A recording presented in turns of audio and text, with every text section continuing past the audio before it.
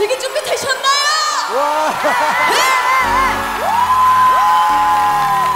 언니들 팬이에요!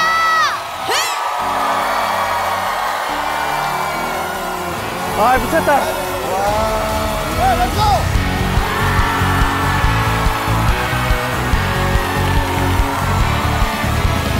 난 너를 믿었던 만큼 난내 친구도 믿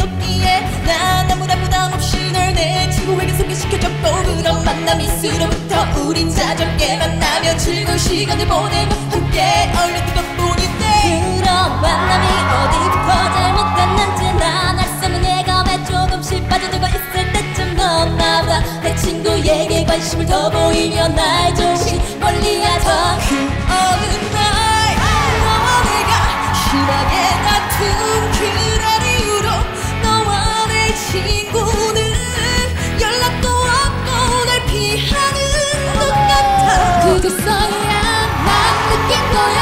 모든 것이 잘못돼 있는 걸